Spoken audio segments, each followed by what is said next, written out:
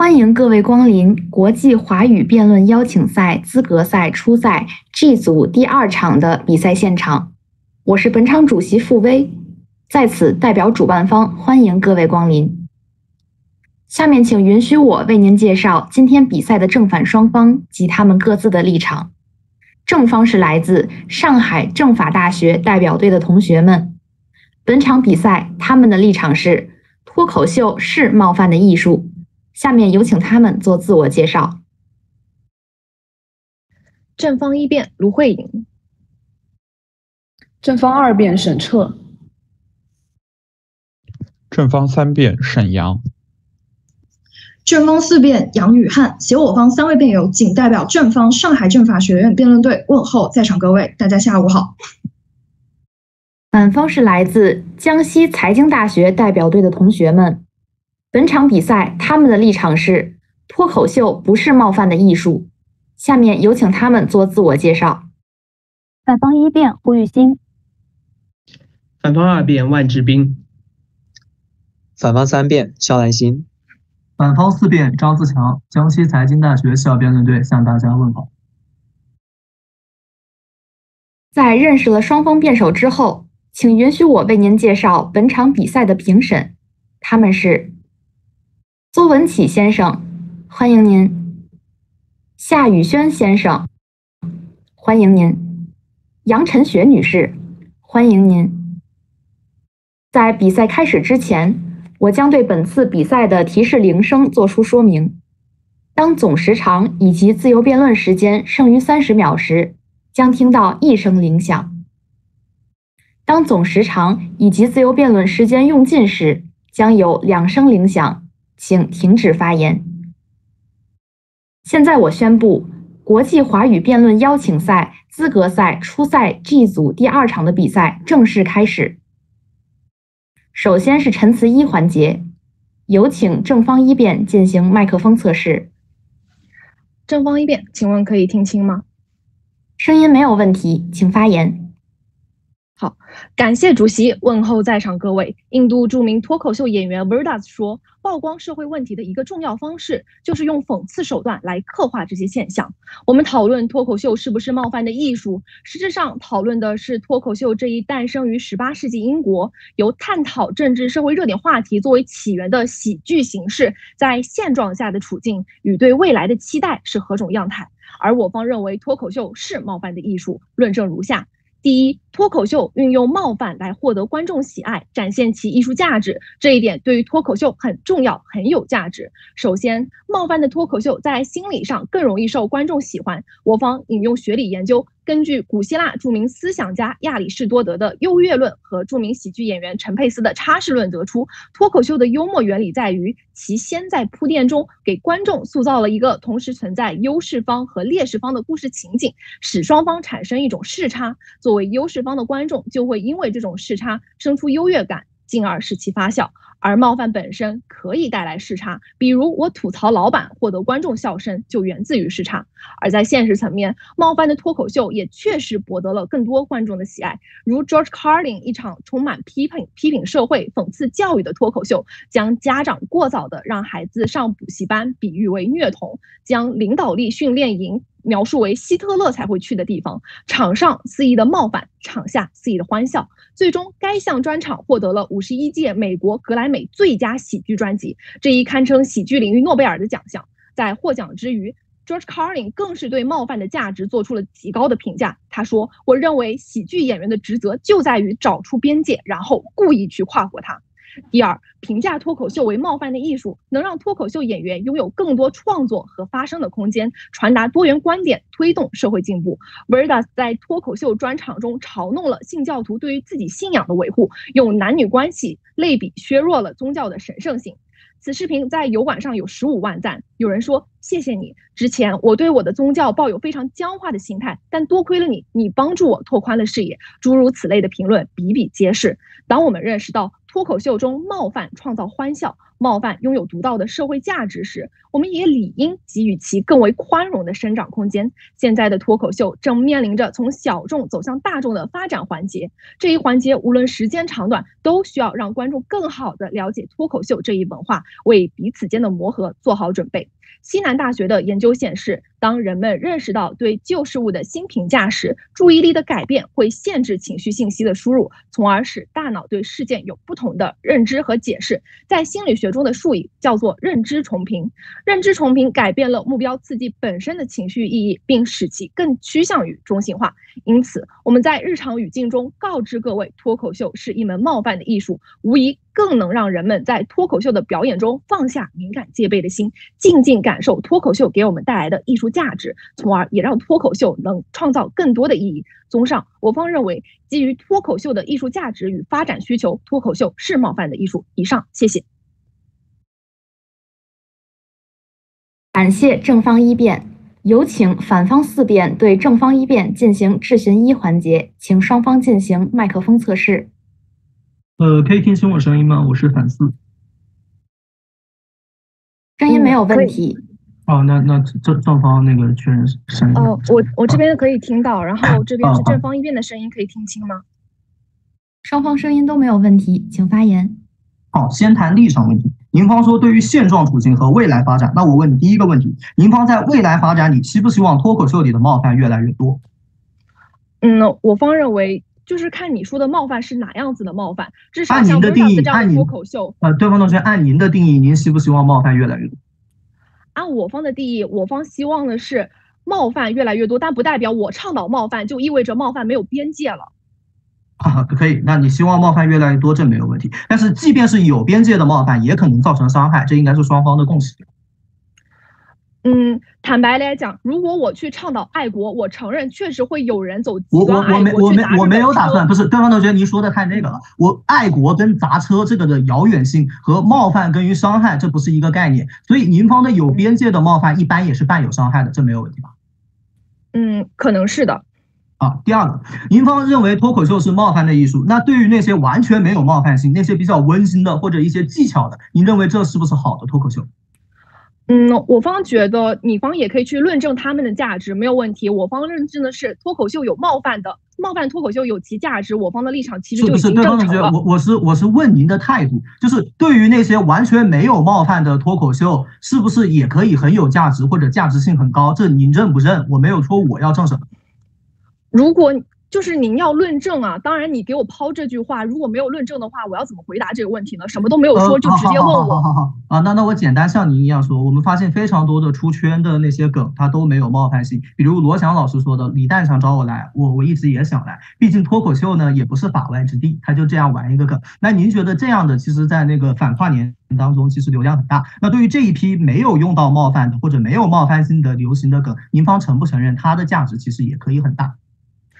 呃，我方举的冒犯脱口秀的例子当中，有受观众喜爱价值，有艺术价值，获得格莱美奖，也有能够让观众思考的社会现实意义。你方举出来的这个，我暂时只能听到有一个热度，姑且可以听到一个热度。但是你方要跟我进行价值比较的话，希望你方能跟我举。啊啊，没有问题，没有呃，对方同学没有问题，至少观众流行价值，我方已经举证了。质询环节我就不不举证学术权威评级，我方立论一会儿有，那您方也要举证双方哪个价值更高。第一个，我问你，获得观众喜爱就代表脱口秀是冒犯的艺术吗？获得观众喜爱对脱口秀而言很重要，所以获得观众喜爱，就如果冒犯脱口秀能获得观众喜爱的话，那么冒犯脱口秀就是冒犯的艺术。呃，不对吧？它是价值手段之一，不代表它是艺术。比如念稿也可以帮助大家把论讲得清楚一些。那辩论是念稿子的艺术吗？呃。我们可不可以承认说，如果它对于脱口秀很重要，我们就可以称之为是冒犯的艺术？你方质疑的不过是观众喜爱对于脱口秀有没有意义，是吗？是我方是问，如果您的重要的方式是可以收割流量这一点，那念稿也可以帮我们把辩论讲得更清楚。可是我们不会说辩论是念稿的艺术吧？不仅仅是你所谓的流量，更重要是对于观众的一种改变态度，也有。哦，OK OK，那那我那那我先那我先能理解，就是您方第一点流量的收割和喜爱的收割，这个你也承认不重要，因为毕竟我举出了反例。那好，我们先来来看对于观众观点的改善这个问题啊，您方认为脱口秀。用冒犯的形式带来了观众观点的改变和促进了问题的探讨吗？你是这样认为的吗？嗯，我方觉得至少是至少有真的会有观众承认说你这样冒犯脱口秀是改善了我的心态的，谢谢你，你帮助我拓宽了视野。我方认为这样的利好是实然存在的。可是啊，如果你冒犯的刚好是他讨厌的人，也许他是谢谢你讲出来的。可是作为一个平平凡凡的男性，我人在家中坐，锅从天上来，突然来了一句你这么平凡，凭什么自信？可是我已经这么平凡了，我为什么不能自信？那被冒犯的那些群体是也会感谢您讲出来了吗？如果有被冒犯的群体由此受到什么样的伤害，是需要你方进行举证的，而不是这边给我列一个假设，否则我也可以列假设说杨丽的脱口秀带来对方同学，我举的例子本身就是你方主张的杨丽的普学性的这个观点，所以换言之啊，就是你攻击了别人，不一定把问题放到了更好的讨论环境。很多男生本来认为男女平等完全可以，可是你偏偏要说我就不被自信，那我还真就跟你杠上了。最后一个，我问你啊，伤害可能补缺性还好一点。有人调侃汶川地震，有人调侃就是亚洲男性或者那个黑人，那这一部分伤害，你方看不看？我方说了，我方提倡冒犯的艺术，不代表让大家去做反人类、反社会的事情。就像我提倡爱国，不是说我要提倡大家去砸日本车。这两个问题，没问题。可是不是没问题。可是我方最大的担心是，实战层面已经出现了这些，而您方又给不出边界在哪里的时候，你怎么保证你的倡导只出好的？好，问到这里。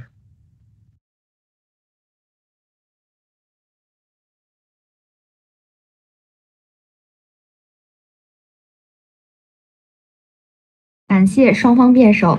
在本轮环节结束后，正方时间所剩十三分四十三秒，反方时间所剩十三分五十五秒。下面有请反方一辩进行陈词一环节。有请反方一辩进行麦克风测试。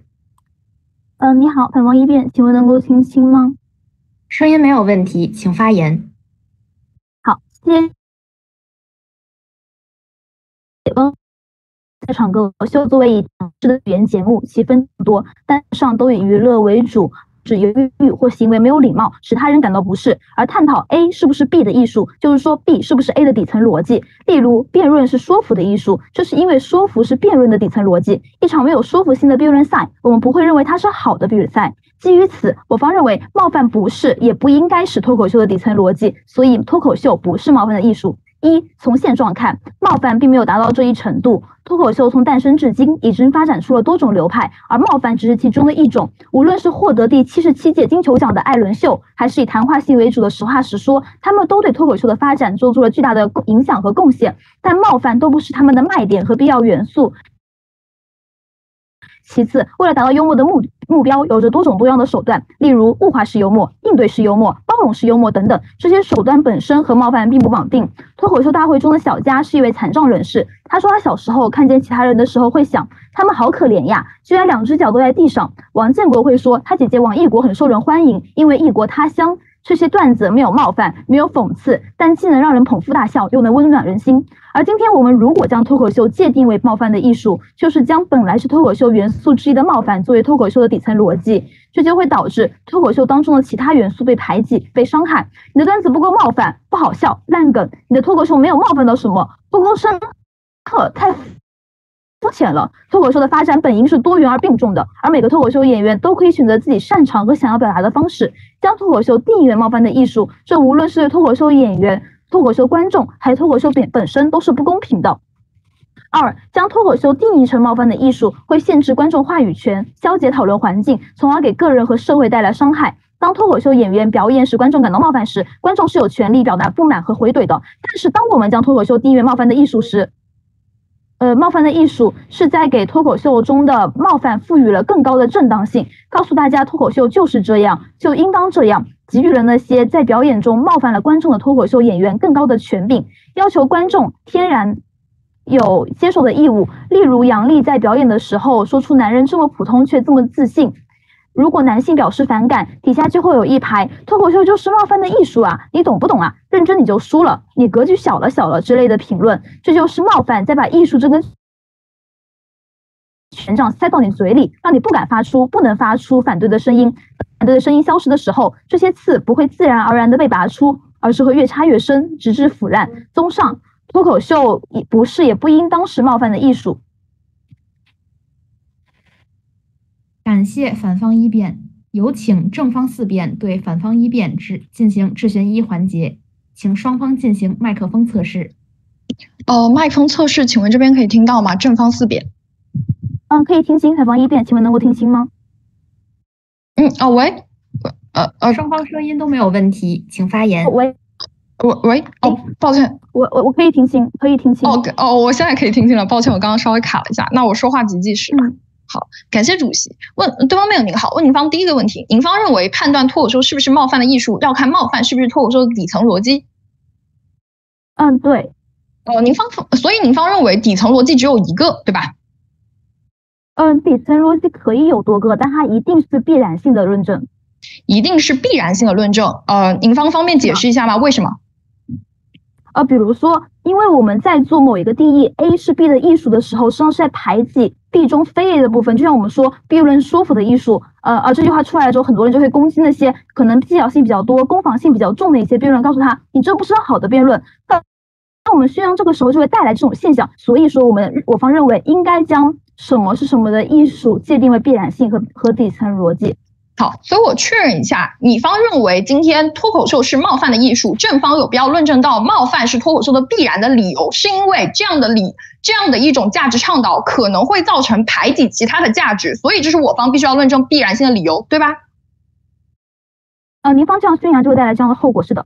好，所以我确认，所以都没有。您方方不便再给我论证一下，为什么今天我说辩论是呃不好意思，脱口秀是冒犯的艺术，就会排挤其他种类的脱口秀呀？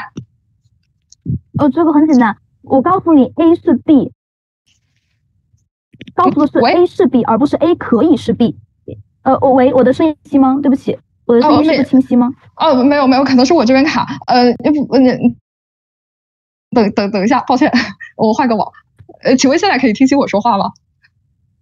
啊，呃，好的，那对方没有，您您可以再解释一下吗？就是刚才那个问题。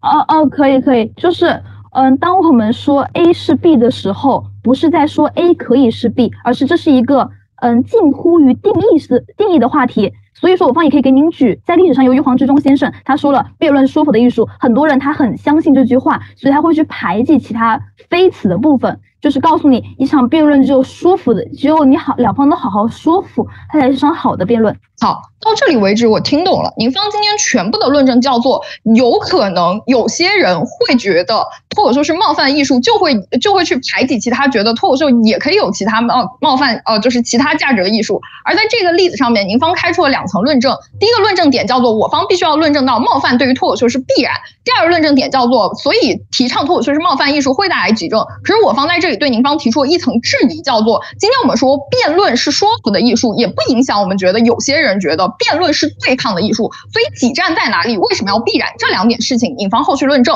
所以我接下来简证你方第二个逻辑。你方说，如果我们提倡脱口秀是冒犯的艺术，会限制观众的话语权。论证在。嗯，先解释您上一个，即使即使对抗也要讲究说服，这两个不矛盾。但脱口秀不能既是冒犯的艺术，又不又是不冒犯的艺术。好，回答您方下一个，就是说，当我们对一个呃一个行为将它艺术化的时候，就是将它抬高了地位，告诉大家我们应该去容忍它。也像您方第二个说的嘛，我们之所以要这么认可，就是为了给脱口秀演员更大的空间，要求观众对他更容忍。就是我方说这样子你会塞住观众的嘴，其实反而不利于您方讨论了。对嘛，很简单。今天我们会发现，有些人支持辩论是说服的艺术，有些人支持辩论是对抗的艺术。张没有，我问你，我们这一波人谁让另外一波人没法说话了？我们这一波人谁又挤占了另外一波人的生存空间了？对吧？所以您方后续给我论证。所以您方今天告诉我的第二论点的论证逻辑就是，由于我说了一个东西是艺术，我就会天然的抬高演员的地位，然后压制观众的话语权，是吧？嗯，因为对抗和说服不矛盾，但是冒犯和不冒犯是矛盾的。您方是在排挤其他的空间。如果如果任何倾斜都没有的话，您方为什么您方第二个论点不是也开出来了吗？定义为艺术是干嘛呢？对，所以我们会发现，我方第二个论点告诉你的是，当我们认知到脱口秀是冒犯的艺术的时候，由于认知重评，我们可以更好的接受脱口秀演员对讲出一些冒犯观点，我们可以进行更好的客观评价。我方在这里有一层学理证明，您方有没有任何数据对冲？还是您方今天只有一句说，哎呀，大家就会拿这个做借口嘛？你方有没有任何其他举证？还有啊，我方在那个微博上那个就写了呀。呃，比如我杨笠表演之后，他说男人这么普通，这么自信，有男性表示反对，我这么普通了，为什么我还不可以自信一点？结果下面一排排，哈哈哈，你输了，不要对号入座，输的就是你，脱口秀就是冒犯的艺术，你懂不懂啊？这种实在是实战层面已经存在了。还有其他举证吗？嗯呃，您方需要我方进行怎样的举证？好，所以我确认到这里。我方在这里说，当脱口秀演员提倡脱口秀是冒犯的艺术的时候，大家可以更由于认知重评的学历，大家可以更好接受冒犯的观点，进行客观评价。我方也给出一份实证：印度脱口秀演员 Verdas 讲出对于宗教的时候，也有人确实改变了自己原来对于宗教的认知。对方没有在这里没有任何的相抗举证。谢谢。呃，我方也举证了，因为我被塞住嘴，所以我更反对。谢谢。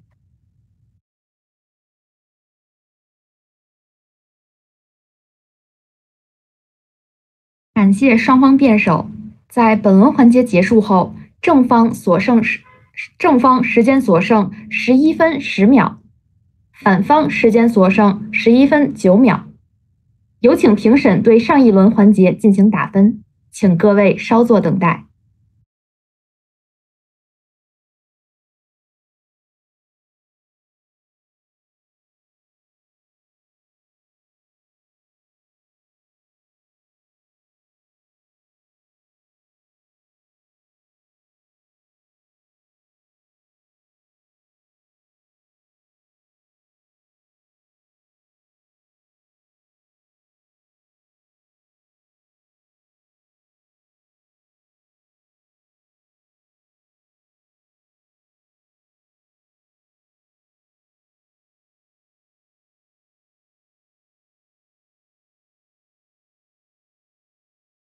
接下来进行陈词二环节，有请正方二辩进行麦克风测试。麦克风测试，正方二辩听得见我的声音吗？声音没有问题，请发言。好，发言及计时。我们先来看一下论证义务的问题。方辩友企图要我方论证，在脱口秀的每一场里面，每一句话都必然要有冒犯的因素，我方才能证成。可是这样的，可是这样的论证义务，我方真的能接受吗？您方给我方举的这边合理性的一个例子，无非是说辩论是说服的艺术。确实，当我们说 A 是 B 的艺术的时候，B 在 A 中的存在方式有很多种。在您方的那个例子里面，说服是每一场辩论都要干的事情，因为我们每一场辩论都要去说服评委。可是，当我们同样说辩论是交锋的艺术的时候，就意味着每一场辩论里面都会有交锋的环节吗？当我们说辩论是价值升华的艺术的时候，每一场辩论里面都会有升价值这个环节吗？我们都知道不会，政策辩就没有。所以说，您方企图用个例来向强调升高我方的论证义务，我方是不认的。同样，我方在这边认为合理的是什么？我们只要论证说。冒犯对于脱口秀而言是重要的，它就能论证成功。因为我们发现，举其他的类比，摇滚是叛逆的艺术，我们发现叛逆之于摇滚是重要的。辩论是对抗的艺术，对抗之于辩论是重要的。所以，无论 B 在 A 中的存在方式是什么，只要它是重要的，都能论证成功。而您方所讲的罗翔的那个例子，我方也可以认。您方讲罗翔的例子，无非是说他的段子里面运用了意外和转折，让观众感觉到了好笑。如果您方能认，您方的论证成功，意外和转折对于脱口秀很重要，我方大可以接接受脱口秀就是转折的艺术。可是这真的论成了您方的立场了吗？证成了脱口秀不是冒犯的艺术吗？好像和脱口秀是冒犯的艺术也不矛盾吧。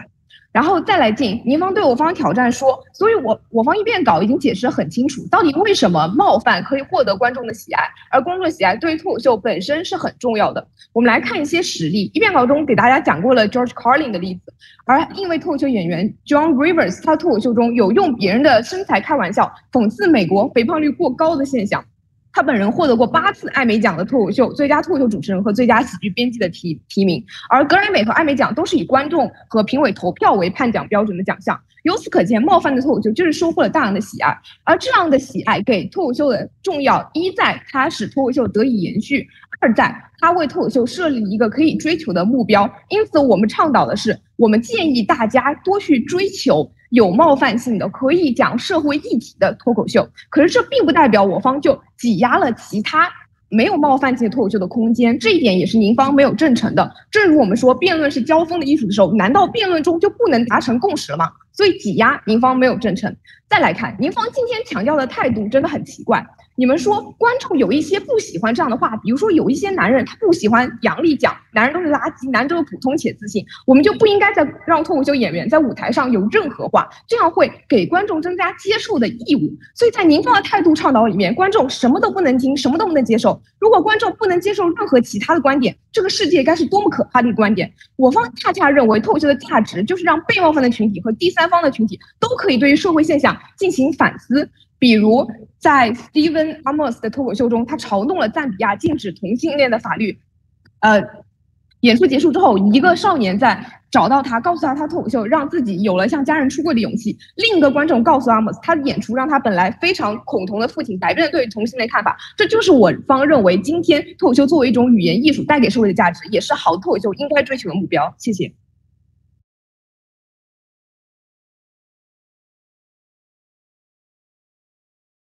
感谢正方二辩，有请反方三辩对正方二辩进行质询二环节，请双方进行麦克风测试。呃，对方辩友好，主席好，评委好，请问可以听到吗？声音没有问题，请发言。呃，不，不是，不是，正方不需要试一下音。正方可以听到我的声音吗，同学？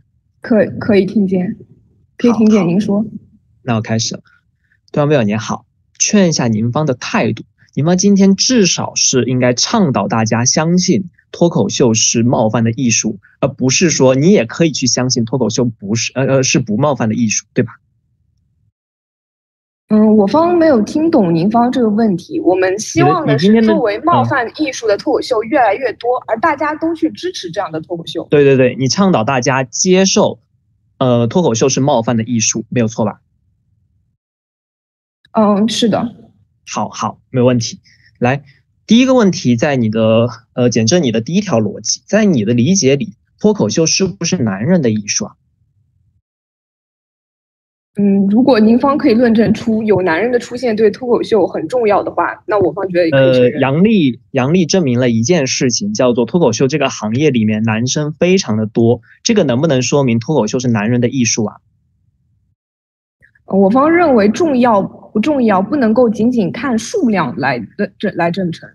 可他们也很有价值啊，男人对于脱口秀的贡献也很有价值啊，他们讲了很多有趣的段子啊。所以价值在于，以及他和我方立场的冲突在哪里呢？不是我，我用你的逻辑，他们也得了很多奖吧，他们也那那提供了很多有趣的段子吧。那这些都都不是价值吗？那脱口秀能不能说明是男人的艺术啊？呃，如果您方想用这种作为重要的标准的话，那我方觉得可以承认。和我我用的是你的逻辑，所以，对对对，所以按照你的逻辑，脱口秀也可以是男人的艺术，对吧？我确认你的态度。可以，如果他真的很重要。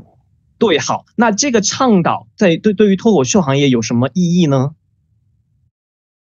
如果我们发现，在脱口秀这个行业里面，确实你对杨笠怎么说这句话？男，嗯，我可以解释吗？嗯嗯嗯，可以。嗯，好。首先，首先来讲，如果说我们在现实情况下真的发现男性在脱口秀中做出的价值要比女性要多的话，我方认为做出这样的判断，说是男人的艺术，并没有对女性作为脱口秀演员在舞台上发声有任何的挤压。确定吗？确定，您方可以论证。来换一个例子，微博网友是呃存在部分的网友是黑白不分的，所以微博微博网友是黑白不分的群体，也可以这样倡导，对吧？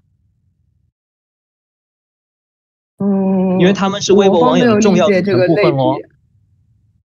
可是他们对于微博网友没有价值啊？您方难道说所以那些黑白不分的网友是没有价值的网友？就是在你的理解里是这样的，没错吧？嗯，我们觉得您方您方的判准到底是什么呢？对什么而言有价值？如果是对于网络大家的讨论的话，那我方确实觉得它没有价值。呃，我简真的是你的逻辑，所以单靠论证很重要，或者单靠论证有价值，好像不能直接说明脱口秀是冒犯的艺术。再看倡导这个地方，在你的理解里，我我我呃，就是你您方说的那个价值是独呃是放下敏放下敏感，让他觉得好笑，对吧？这是你的那个倡导价值。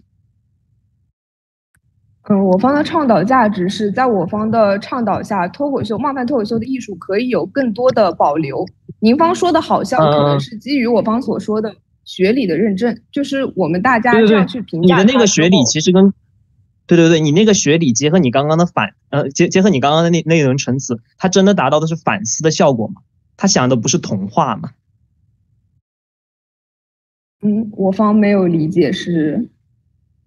好。没有理解问题，我我这么问你好，你让大你希望大家放下敏感去感受快乐，可大家为什么要放下敏感？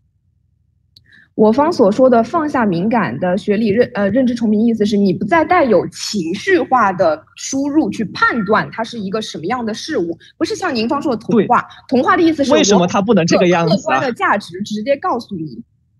为为什么他们不能这个样子？重点在这个地方。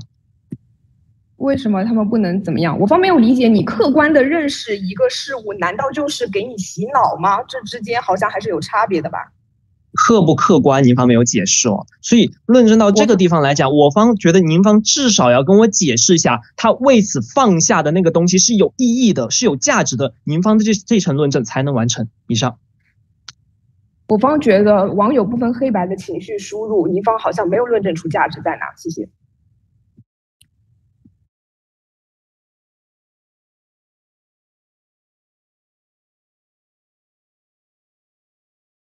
感谢双方辩手。在本轮环节结束后，正方时间所剩七分三十七秒，反方时间所剩八分三十八秒。下面有请反方二辩进行陈词二环节。有请反方二辩进行麦克风测试。喂，你好，可以听见吗？声音没有问题，请发言。好，我开始说话，开始计时。好，谢谢主席啊。对方辩友认为他今天的定义没有排他，我们来看一下什么叫做定义的排他性。好了，首先第一个点，对方辩友你要不要去拥护你的立场？就像您方在立辩稿里面所说的那样，你想要更多的观众喜爱，你想要更多的发声空间，这个时候你会去扩张的，你会去放大的。就比方说江才辩论队，拿您方举的例子是升华价值的艺术好了。江才辩论队认为辩论是升华价值的艺术，那这个时候我会去跟更多的人说辩论是升华价值的艺术。那我在校内培训的时候，我在校内选拔的时候，我会把升华价值作为前提。那这个时候我就会认为那些没有升华价值的辩论是一个不太好的辩论。所以这一条标准带来的结果是一个不好结果的情况底下，这个标准就是一个坏事。那这个标准为什么坏呢？因为它以偏概全了。这个时候，您方告诉我说以偏概全不要紧，我多补几条就好。我说辩论是升华价值的艺术，我说辩论是攻防的艺术，我说辩论是交锋的艺术，我多补几条就好了。可是你在传播过程当中，你真的会去补吗？就像我刚刚我方三辩举的那个例子也好，您方承认说脱口秀是男性的艺术，你单讲这一句话出来的时候，你觉得微博上的那些女性脱口秀的演员没有受到冒犯吗？你真的觉得这句话没有打压他们的一个发展空间吗？那这个时候，您方在后面补了一句（括弧也是女性的艺术），您方会补吗？这样子的补有任何的意义吗？这就是定义排他性的一个存在。第二个点，当排他性存在的时候，您方拿冒犯作为它的这个核心逻辑的情况底下，就会去挤压到其他脱口秀演员的一个发展。就比方说，我今天讲了一场全是谐音梗的这个脱口秀，您就会觉得你这个梗好烂呀，一点冒犯都没有，肤浅垃圾，我就是不喜欢听你这种脱口秀。这个时候，对于脱口秀演员、对于脱口秀观众、对于脱口秀来说，又是一件公平的事吗？您方跟我讲第二个点，告诉我这个伤害的这个东西，除了脱口秀带来的伤害，呃，我方应该坦然接受，应该更多的给他发声的空间。那好，第一个点，伤害本身与它的价值能不能切开来呢？你方跟我说拓宽视野，我拓宽视野，我可不可以看书？我可不可以听新闻联播？我可不可以接受演讲，接受其他那些不含冒犯的东西？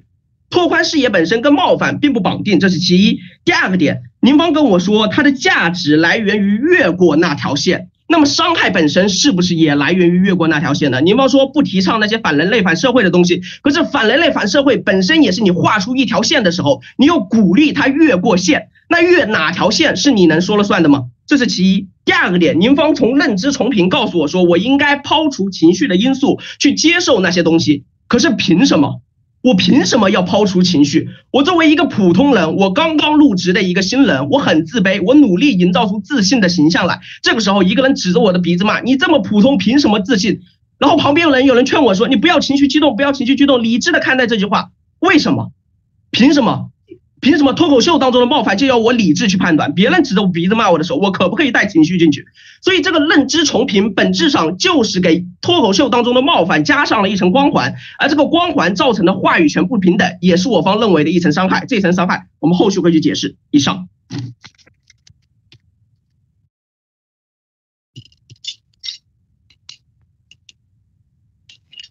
感谢反方二辩，有请正方三辩对反方二辩进行质询二环节，请双方进行麦克风测试。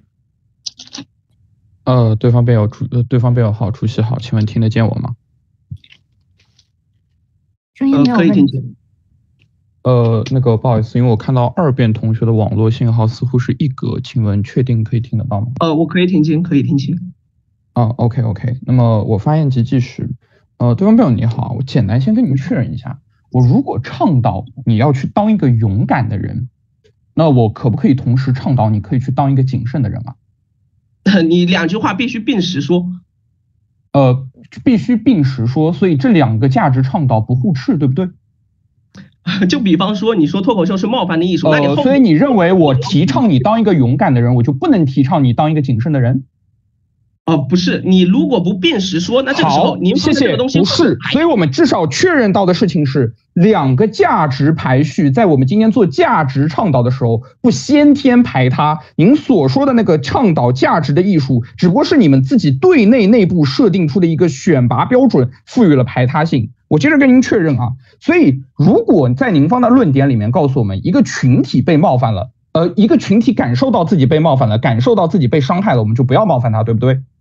哎，当拥护跟跟勇敢跟谨慎起冲突的时候，你总会来回答我这个问题。所以，如果有一个群体感受到自己被冒犯了，我们就不要冒犯他。这是您方的第二个论点的逻辑，对不对？对，不对，不对，不对。我方说的是不要给冒犯套上一层光环。凭什么你冒犯我，我就要放下情绪，我就要宽容？那我所以确认，如果有人他因为我的冒犯而感受到了难受的情绪，如果我做的对，我依然可以去冒犯他，对不对？呃，你冒犯凭什么要我宽容？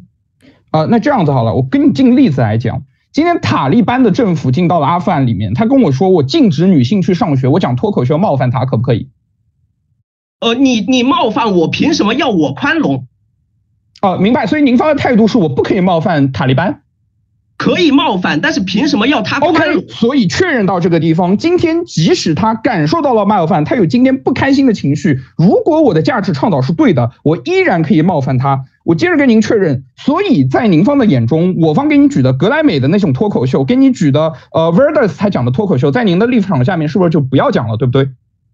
不是，您方的价值倡导凭什么是对的？这是其一。第二，价值倡导。明白。所以我确认一下，我方给你讲的那几个脱口秀，是不是在您方的立场下就不要讲了，对不对？我方从来没有说脱口秀当中不要冒犯，而是不要把冒犯上升为艺术。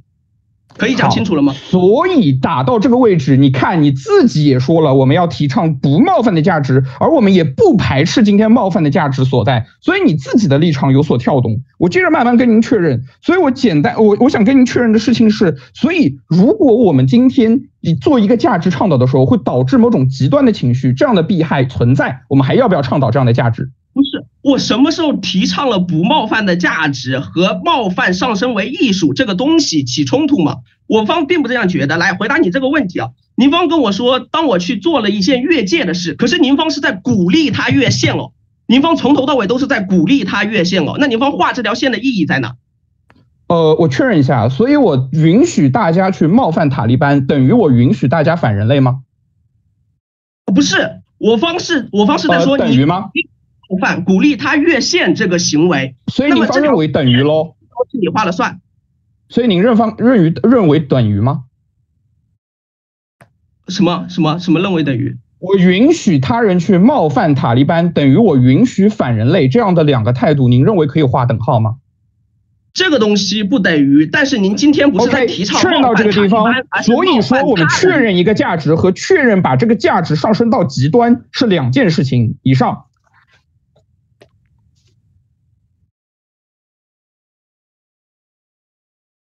感谢双方辩手。在本轮环节结束后，正方时间所剩五分八秒，反方时间所剩五分二十二秒。有请评审对上一轮环节进行打分，请各位稍作等待。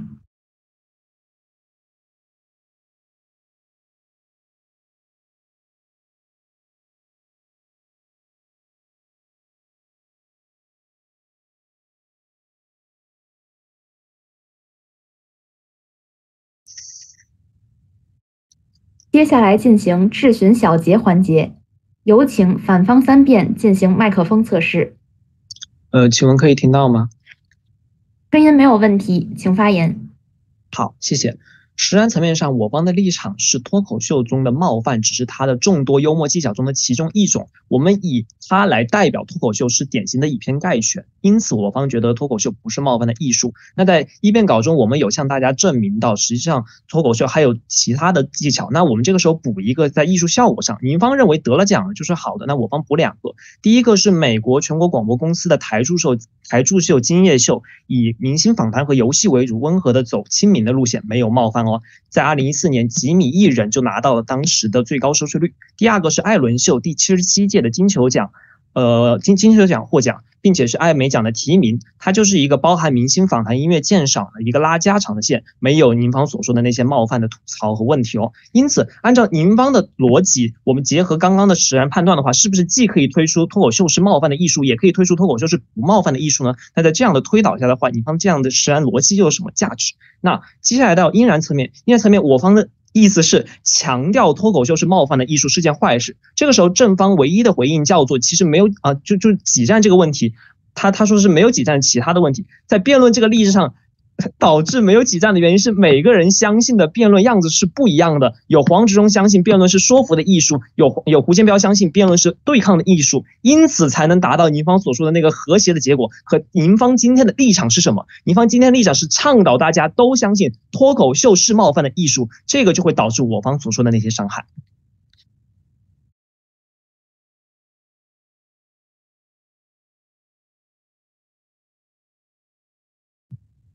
感谢反方辩手，有请正方三辩进行质询小结环节，请正方三辩进行麦克风测试。呃，你好，请问听得见我的声音吗？声音没有问题，请发言。好，感谢主席，问候在场各位。马上自由辩了，我们今天解清一下战场。首先，我们聊一下今天双方实战层面上面探准。刚才质询已经跟大家确认了，当我们肯定一个价值它有意义的时候，不代表我否认其他的价值。两个价值之间先天不互斥，甚至我刚才提了勇敢与谨慎这两个可能感官上有些互斥的这两个概两个价值，我们依然发现它们都是可以进行同步倡导的。所以在今天我们讨论脱冒脱口秀是不是冒犯的艺术的时候，我们和对方今天本质的分歧根本不在于冒犯的价值与不冒犯的价值孰高孰低，我们真正去产生分歧的是我们今天要不要肯定冒犯的价值。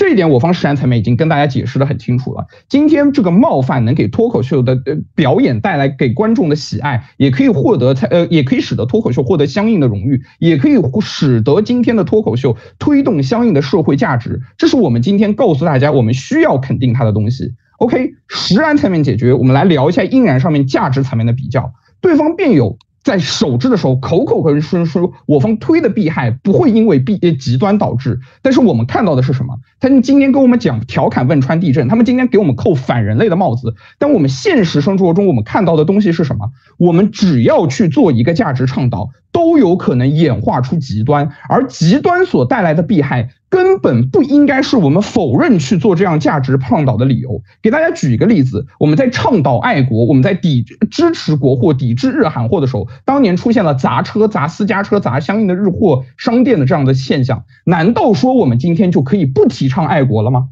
这一点是我方今天学的非常好奇的一件事情，所以接下来第二件事情，我方承不承认今天我们倡导冒犯的艺术可能会带来有人越线的结果？第一件事情，会这样的倡导会带来多少？您方有没有举证？我方看到是现在即使不倡导，似乎也有越界的人，所以这样的弊害到底有多大？麻烦您方论证。第二件事情是我们看到在现实当中，由于脱口秀演员他们对于今天自己观众的这样子的取向，所以他们有的时候也会克制好自己，防止今天您方所说的弊害发生。以上，小结先到这里。感谢双方辩手。在本轮环节结束后，正方时间所剩两分五十三秒，反方时间所剩三分四十七秒。有请评审对上一轮环节进行打分，请各位稍作等待。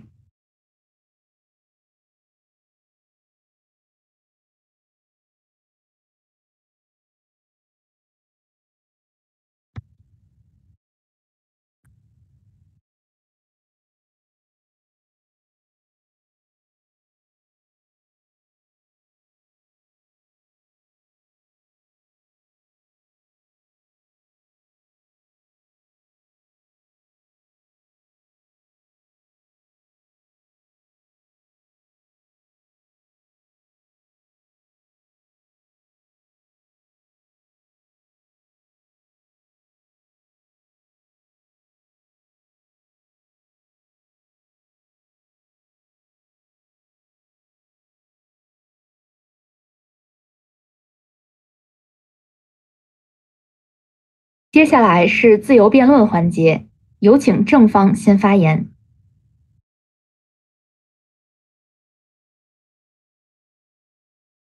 好，感谢主席，问候在场各位。呃，我方今天在前场提过一个 Verdes 嘲讽其他宗教时的大家改阔开阔视野的例子，所以我想知道这样子的冒犯的脱口秀，在反方的立场下，您方到底支不支持？我方是不支持我方从来没有否认冒犯的价值，我方只是在否认把冒犯神化。好，您方谈极端，在以前那个宗教极度压制的情况底下，第一个划破黑暗的人，在当时的社会就是一个极端的人。这样子极端的价值，您方吃了，那极端的弊害你就不吃了，对吧？呃，所以我方先确认到这里，您方也认同今天冒犯的价值，这个地方我们先达成共识。我接着跟您确认，所以今天一个价值它可能导致极端，这样的价值我们就不提倡了，这是您方的态度吗？是在提倡之前，我们要清晰的看到它有多大可能导致极端。在砸别人车的时候，我们就不能一味的强调爱。回到您方刚才那个问题，如果有一个价值是我方只倡导好的，任何的坏的我都不看，那是不是脱口秀也是抬杠的艺术？如果你抬得好，特别漂亮；抬得坏就是极端，我不看。所以您方今天要推避害，那我确认一下，您方认为我们今天倡导完冒犯的艺术和现状下多会多出多少个极端的脱口秀？有没有数据？那您方也没有数据讲到讲完之后会开阔多少视野？不是，等一下，等一下，对方同学，您方也没有数据举证会开阔多少视野，对不对？你如果要求数据，你必须也举证数据，开阔多少视野你举证不了。我现在来问你之前例子的问题啊，辩论是交锋的艺术，是不是说明了没有交锋就不是一场好辩论？换言之，你倡导爱国，那不爱国的就不是一个好公民。所以您方的价值里面，一场没有冒犯性的脱口秀，是不是就不是好的脱口秀？所以今天对方的态度很奇怪，您方这样子的极端互斥，只不过是您自己加出来的前提。为什么今天一个辩论当中没有交锋就不是好的辩论了？非常奇怪。我接着跟您聊，所以的话，您今天给我解，呃，所以的话，我们倡导爱国，是不是按照您的逻辑，我们是不是要举证一下，有多少人因为爱国获得了好处，或者国家因为倡导爱国获得了多少利益？不是，是您方这样既倡导脱口秀是冒犯的艺术，也可以倡导脱口秀是其他的，比如说谐音梗的艺术，也可以是其他的正装的艺术什么的话，你这个强调本身有什么意义吗？我方的英论证的就是我们倡。呃，我方今天所以在这个地方先结一下今天双方的论证义务。当我们倡导某个价值的时候，我们今天不会去统计这个价值在实际社会当中到底引发了多少效应，但是至少我们可以确定一件事情：一个价值它极端所导致的弊害，不能否认我们今天倡导这个价值。先解到这个地方，所以接着跟您确认，您方今天认同冒犯的价值，对不对？对方辩友，您方今天倡导的是越线，这个时候我越线了，我反人类，我反国家了，你又跟我说不要越这条线，您方到底是想倡导什么？所以在对方的眼中，倡导冒犯等于反国家、反人类，您方麻烦论证一下有没有？我方不是，是您方自己想说的。其中有一部分东西是你这个倡导底下无法克制的，你可以接受吗？所以我们倡导爱国，也有人去砸车，也不可以克制。这个地方已经聊干净了，截掉。我方接着跟你确认的东西是叫做，所以我们认同冒犯，为什么一定等于越线？有没有论证？是好，同学，你这个逻辑带来的大概率的伤害，您方不看。那往下看，您方的边界在哪？好了，这个时候中国人抨击美国可以接受，美国人抨击中国的时候，你作为中国人是不是也要劝自己放下情绪，去接受这样子的一个抨击？呃，所以他抨击我们合不合理？有没有具体一点的情景？是对方同学，东亚病夫啦，问题是没有办法判断极限在哪里。那个讲汶川地震的那个例子的时候，他自己以为特别好笑。你是事后评判，你不倡导，可是你事前倡导大家把冒犯更多的时候，您方是论证不了冒犯带来不了伤害的这个问题。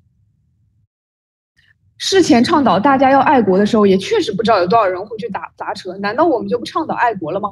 极端避害我方已经解掉了，接下来确认您方态度的问题。所以您方认为 Verdas 这种讲印度呃讲印度平权、讲大家极端宗教信仰不好、引起大家反思的段子，我们到底应不应该讲？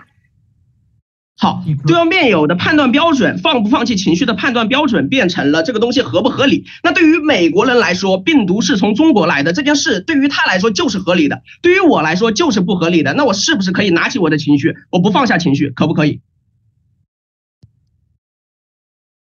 我方今天非常清楚的跟大家，嗯，你讲。呃，来，那我来。我方今天非常清楚的跟大家讲的事情是什么？我们今天希望的是保护现有冒犯的这部分价值。所以我方接着跟您聊的东西是，所以如果一件事情冒犯可以做得到，其他人做不到，我们冒犯的价值要不要保护？两点回应。今天清楚保护价值为什么一定？保护价值为什么一定要上升到艺术这个东西？您帮后续论证。第二个点，冒犯带来什么独特性？只有冒犯能做到的，您帮后续讲。接着回应我刚刚那个例子，是不是说，当我认为不合理的时候，我就可以拿起情绪？那所有冒犯到我的东西，天然我就是觉得它不合理的。普学性那个例子也好，我就是觉得不合理。那您方这个提倡有什么意义？来，首先我方认知态度当中，只要您今天有情绪，你就不应该让大家在舞台上面说话。即使今天塔利班看到脱口秀演员不爽，我们今天也不应该去冒犯塔利班。这是您方的逻辑。接着我方给你论证独有的价值，所以我想给跟您做一个比较。今天在杨笠讲男女议题之前，男女议题之前有什么样的脱口秀引起了同等样的社会议题的讨论？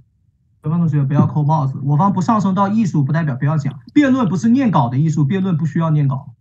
所以您您您方今天为什么上升到艺术啊？就按您方说的，杨丽女生不爽可以说男生凭什么普学性？可男生不爽能不能发出自己的言论？现在秉持着脱口秀就是冒犯的艺术，那些嘲笑那些生气的男生，你不懂脱口秀，哈哈哈，说的就是你这种人。这种情况要不要看？保护了演员的权利，要不要保护普通的观众？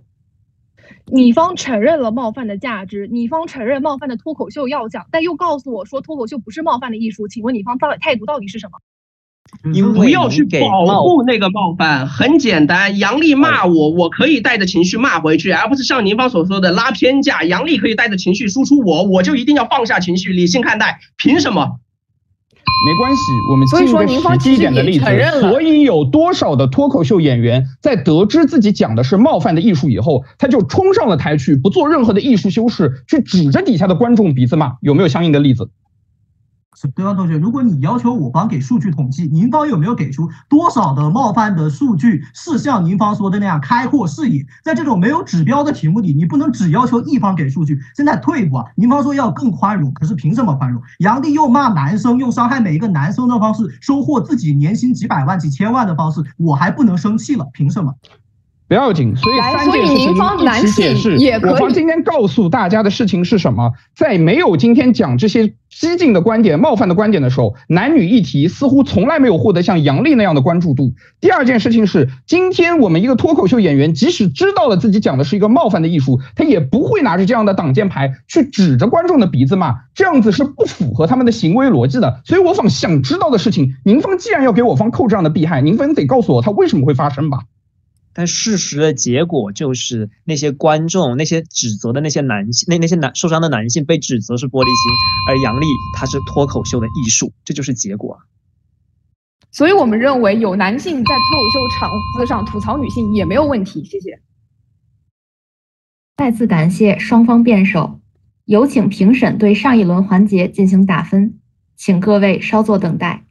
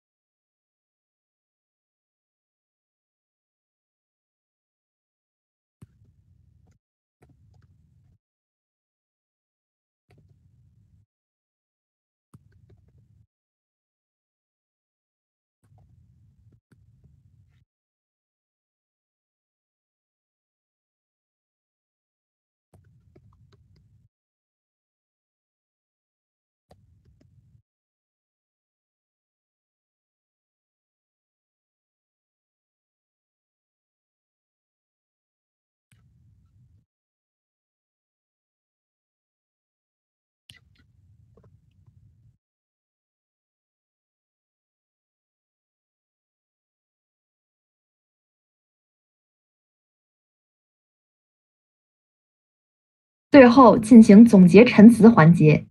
根据赛前抽签的结果，首先有请正方四辩进行麦克风测试。呃，麦克风测试，请问可以听到吗？因为我这边网络好像有点不稳定。声音没有问题，请发言。好，那说话即计时。感谢主席，问候在场各位。首先来摘掉对方没有扣给我方第一顶帽子。他方说我方今天倡导脱口秀是冒犯的艺术，就一定会导致极端，就一定会导致那些过分的、过激的行为。可是坦白来说，对方没有。今天我们倡导一个人爱国，意不意味着我们就要倡导他去做一个莽夫，去做那些砸日本车的人？所以我们会发现，当一个价值倡导可能带来一些极端的后果的时候，并不能否认该项价值倡导的正当性。而同时，在脱口秀舞台上，我们也会发现，演员是因为要跟观众形成一个良好的互动，他才可以活下去，他才有饭吃啊。所以演员本身自始自觉的就会控制住自己冒犯的尺度。所以极端这个帽子，我方不。不吃。接下来宁方跟我说，我们我方会形成一种叫做所谓价值的激战。可是坦白来讲，进宁方那个辩论的例子，现在不就是这样吗？我们有时候会夸一场比赛，哇，好有交锋，辩论是交锋的艺术。我们也夸他另外一场比赛，天哪，这场比赛好有内容，辩论是内容的艺术。我想请问你，这样的一种情况下，我们究竟挤占了谁？挤占你方也没有论证。最后，你方跟我说，我们倡导脱口秀是冒犯的艺术，会形成一种光环，让那些说觉得哎呀杨笠不对的人说不出来。可是坦白讲，到这里为止，你方今天自始至终只有口胡。我方发现，如果我们倡导脱口秀是冒犯的艺术，我们肯定了冒犯的价值。如果今天你觉得杨笠说的不对，你也可以上脱口秀的舞台上讲一段冒犯冒犯的脱口秀来回击他。所以我方发现，您以上三点举证通通不成立。我方今天在实然层上层面上已经给你论证了为什么脱口秀就是冒犯的艺术。因为我们会发现，对于脱口秀来说，冒犯非常的重要。在学理上，我方运用亚里士多德和陈佩斯的理论，告诉你，观众会因为冒犯在脱口秀创造的视差而感到搞笑。同时，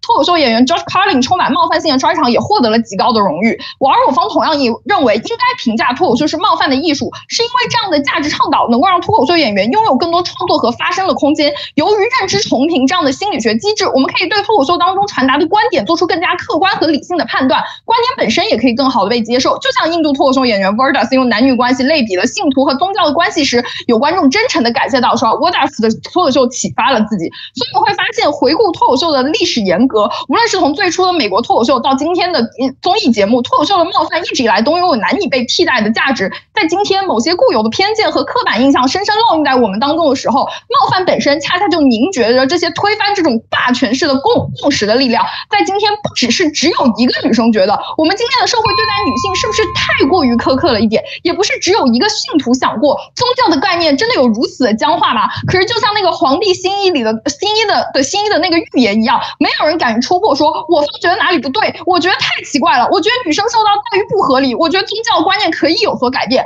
而冒犯恰恰就是这样的一种力量，它可以尝试去推破那些牢不可破的偏见，那些极其强硬的霸权，在每一个人们犹豫和不解、怀疑自己的时候，告诉你，你不是唯一一个这么想的，而我们会发现这些事情原来是不对的，这是我方今天说脱口秀在冒冒犯在脱口秀中的价值，谢谢，感谢正方辩手。有请反方四辩进行麦克风测试。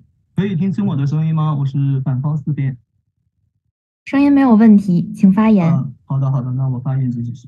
好，在总结整场比赛之前，我先摘两个帽子。对方同学在结辩的时候告诉了我两段呼吁：第一段历史严格，可是历史严格从来不证明任何事。相声最开始有一些黄段子，那黄段子难道是相声现在是黄段子的艺术吗？不是。所以历史怎么样不重要，它现在的发展怎么样才重要。第二点，他说呼吁、呐喊，告诉你你不是一个人，听着特别感人。可是为什么要用冒犯的方式呢？你在微博上抒发自己的心声，你在小红书，你在各种社交平台，你看电视、电影，你看振聋发聩的演讲，你都可以。你要。微光吸引微光的前提是你的微光不要刺别人一刀，你刺他人一刀的时候怎么吸引别人？这是两点。我们来总结整场比赛，整场比赛对我而言只有三个问题。第一个，在这种价值下会不会有排斥？对方同学举了一个例子，勇敢和谨慎，可是勇敢和谨慎不天然之排斥，你知道吗？没有不勇敢。可是如果你说人就是勇敢的，那这个时候就在排斥勇敢的人。换言之，我方今天遍查所有脱口秀的渠道，有些如你所言冒犯做的特别好，有些如我所言幽默做的特别好。温馨做的特别好的时候，你总不能说我既说脱口秀是冒犯的艺术，又说脱口秀是不冒犯的艺术，我什么都倡导。您方如果想什么都倡导，那就代表什么都没讲。因为冒犯如果如您那么好，你所有东西又都倡导，您方没有收到它的价值。所以您举的所有的例子，辩论是内容的艺术，辩论是交锋的艺术。换言之，一场完全没有内容、完全没有交锋的辩论，我方认为不是好辩论。您方非要跳，我没办法。所以第一点会有排斥，那就进入到第二点，脱口秀的多元发展。我方认为。脱口秀以目前如今之大的这个群体，完全不不应该用一种冒犯的内容来限制它的衡量，也不应该用这种方式，如辩论跟说服，没有说服就不是好辩论，没有冒犯性，一整场没有冒犯性，那就不是好的脱口秀。这样的方式来限制脱口秀，因为我们还应该看到其他的光。您要包容脱口秀演员的时候，能不能包容一些那些不是特别希望冒犯的脱口秀演员呢？有的人如您所言，希望在脱口秀中看到比较冒犯、比较刺激的伤害，那就。可以，那有的人希望在脱口秀中看到比较温馨、比较解压的状态。为什么他们的想法天然是低于您方的？为什么脱脱口秀不是不冒犯的艺术？这一点是您方没有解释的。再来一层，对方同学说，今天我们要保护，我们要宽容，我们要。呃，要怎么样？我护着那个脱口秀的演员。可是我我讲一点，比宽容更加重要的是，我为什么要宽容？如果有人走在路上无缘无故打了你一巴掌，我们是不会宽容的，我们会站起来，我们会反抗，对不对？所以在今天这样的情况下，杨笠他用自己收获流量的方式，用冒犯所有男性、揭开男性伤疤、嘲讽任何男性的方式收获自己的流量、自己的物质，年收入上千万的时候，我们有没有资格讲一句不？我们有没有资格说你不是艺术？我讨厌你的说法，我反对你的说法。在现实生活中，如果你骂了我，我完全有资格。可是您方非要给脱口秀定下呃冒犯的艺术的这一层外衣，所以它是艺术，它的行为是艺术，它具有了正当性。如果您方不想说它有正当性，那您方那些就是冒犯的好处也收不下。如果它有了正当性，那我怎么回呢？所以我们看到。理论上是这样，现实层面，秉持着脱口秀就是冒犯的艺术的杨笠的粉丝，在微博底下对那些表表示不满的群体，哈哈哈，说的就是你这种人，哈哈哈，急了吧？你就这点玻璃心啊？可是凭什么？凭什么？你是演员，你要靠这个吃饭的时候，你可以让渡自己一部分价值。我一个普通的观众，我为什么要成为你艺术的献祭品？对方同学跟我说，那你也可以讲脱口秀，这符合常识吗？能讲脱口秀，能上电视，能够微博粉丝百万的人，本身就。是极少数。我们话语权如此不平等的情况下，还要给他一层艺术的外衣来限制我们的话，来让我们每一个正当的群体显得就是不懂艺术，这是霸凌，这绝不是艺术。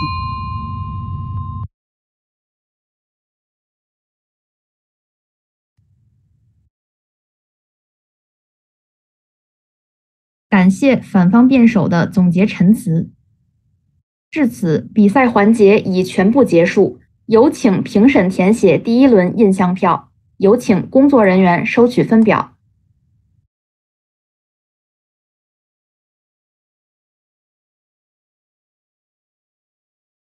杨晨雪学姐的背景倒过来了，请学姐再进行调试。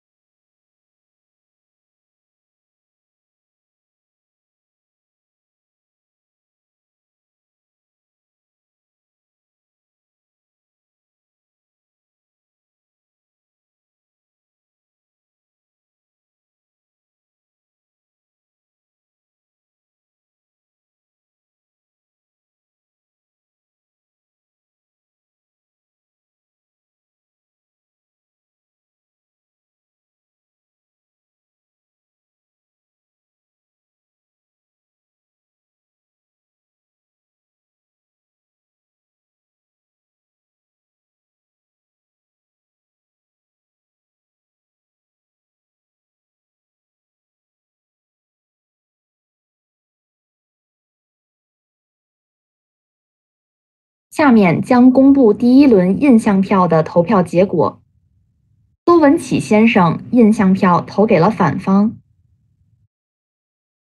夏宇轩先生印象票投给了正方，杨晨雪女士印象票投给了反方。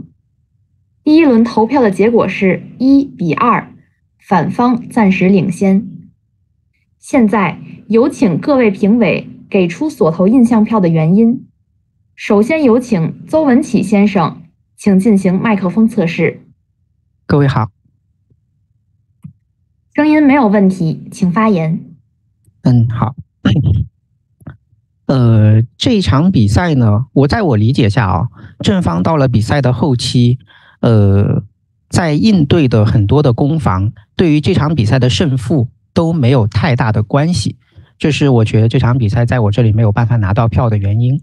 正方到了比赛的后期，一直在解释一件事情。当然，这个解释也不全是正方的责任，是因为反方也的的确确没有中断过对这个问题的干扰。就是反方在说正方你会越界，那所以你会这个出现很多很极端的事情。然后正方就在解释，正方三边的质询小结，对吧？花了很大的力气在解释为什么冒犯不一定会越界，倡导冒犯不一定会越界。啊，类比于爱国砸车，不代表不要爱国。结辩的时候也在说冒犯不只是极端，可是在我看来，这件事情对于胜负一点影响都没有，真的是一点点影响都没有。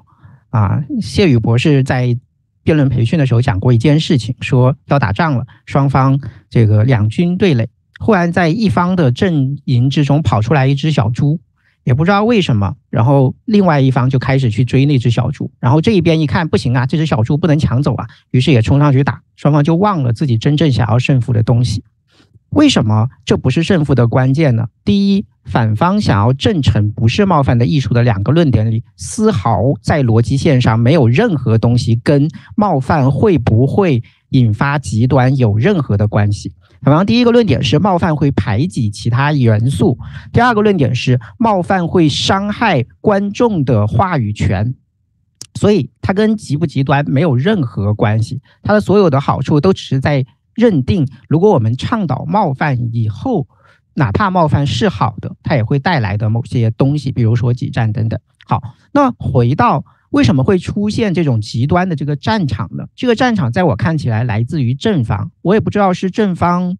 可能是写论的时候找了这么一句话作为论据，但是没有真的觉得这句话很合理，只是觉得这个论据往里放的也挺好，以至于正方也没太记住自己有这个论据。否则的话，要我认知下，正方早点承认我把这句话丢掉，你不要再聊了就好了。因为正方论据里确实有这样一句话，叫做这个脱口秀叫做我要去找出边界，并且故意去跨过它。这是正方在立论里的原话，于是反方才会说：“你看，你找到边界，跨过这个边界，有没有可能你就会伤害到人，你就会做得很极端？”然后双方花了不少的力气在争这个极不极端的问题。好，哦，我觉得这件事情不影响胜负的原因是，我觉得这正方的第一个论点，反方并不需要这个说正方没有办法达成。这体现在交锋中已经很明显，很明显了。就是正方，呃，会在很多时候问反方说：“那请问你，这种获奖的又冒犯的脱口秀，在您方看来就不要了吗？这种您方就认为它没价值吗？”可是你知道哦，反方每一次的回答都很清楚，叫做“我认同它有价值，我也没说不要它。”所以再在这个。脱口秀究竟有没有可能去伤害别人上，其实没有太大意义了。到这里正方就可以直接收掉，所以你也认为它有价值。只是反方我也觉得至少解释过三到四遍，我方认同它的价值，我方只是认为不要上升到 A 是 B 的艺术的这个判定上。所以这场比赛最关键的核心判定在究竟有价值足不足以判定到 A 是 B 的核心，这也是正方想要判定的东西。那这里插一个别的东西啊，我个人认为这个辩题的正方很难通过占便宜这个熟熟手两端的方式去赢得这场比赛，就是你又要认同它有价值，你又要同时包容其他的东西，又要同时这个呃告诉我，我也只是只只是认为它有价值，别的东西也很有价值，也没有什么高低之分，我觉得是蛮难的。因为这件事情如果没有反方指出，当然也就罢了。可是这场比赛的反方，在我看起来，反方三辩的那一轮质询之中，已经归谬的比较清楚了，叫做按照您方逻辑下，脱口秀是不是男人的艺术？那经过攻防之后，反方再说啊，你看按照你的逻辑，男人也得了奖，男人也很或提供了很多有价值、有意义的段子，所以脱口秀是不是就是男人的艺术呢？他在说的是，按照你的逻辑，如果 B 在 A 中有价值，那么 A 就是 B 的艺术的这个逻辑的话，也会得到一个结论，叫脱口秀是男人的艺术。可你要知道，到了这句话之后，虽然正方有嘴硬啊，正方二辩在反方问道，可是这样倡导会不会伤害到女演员？正方二辩说，我觉得不会。但问题不就在于归谬的意义是在于它不需要正方回答，它会让评委来判定的。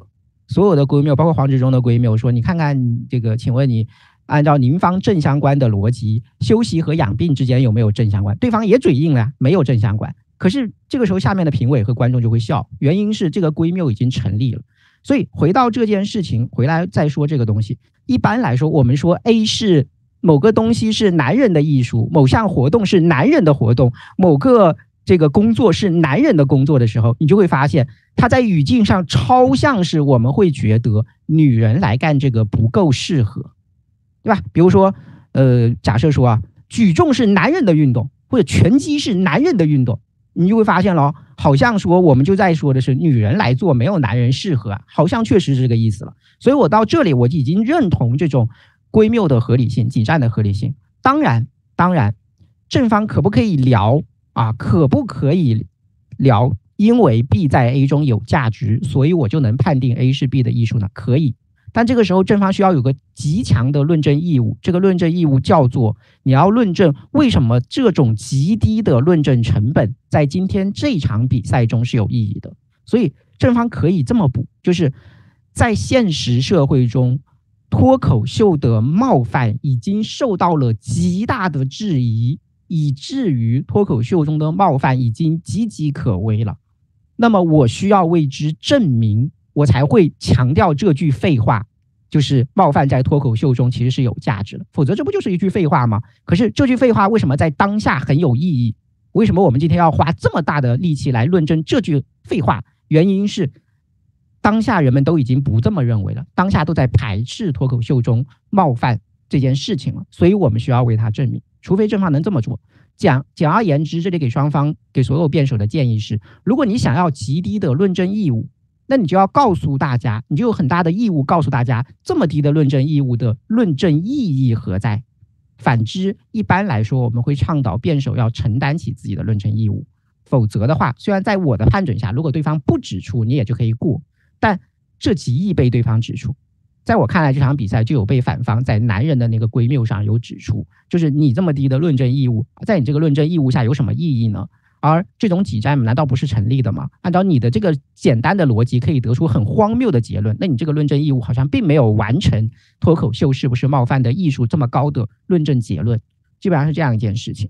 所以到了这件事情之上，就会变成了呃，正方只是证成 B 在 A 中有价值还不够。按照反方的说法是证成了这个有价值，你不应该去倡导它，因为它有价值，你认同它有价值就好。你为什么要说脱口秀是冒犯的艺术呢？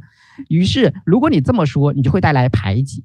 那正方也有问到反方说为什么会排挤呢？而反方举的例子叫做，如果说辩论是说服的艺术，那么我们就可能会排挤那些非说服的辩论。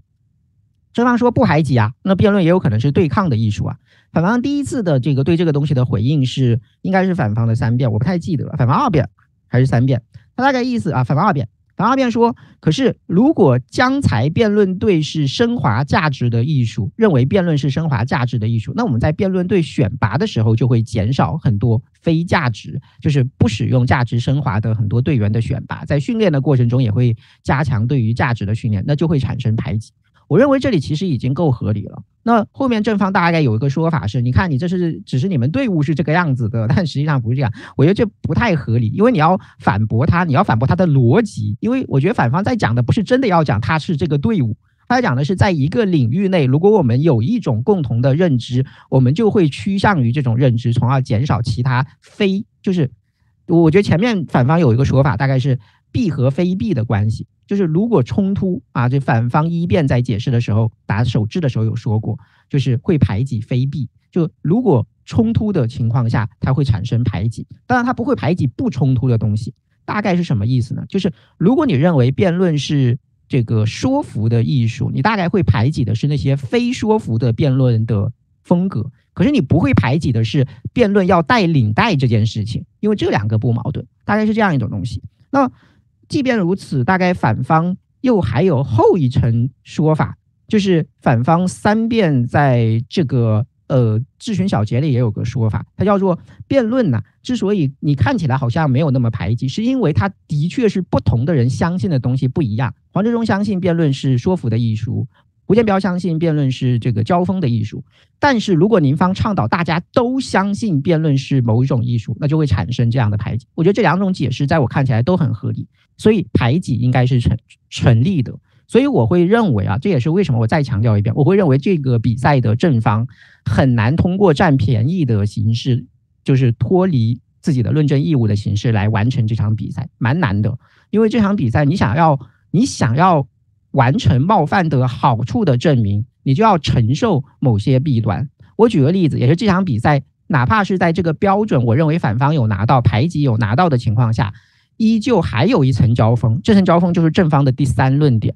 正方第三论点叫做，我们要让观众有一种心理的预期，这样的话会减少对于冒犯的脱口秀的这种敏感度，就是所谓的放下敏感。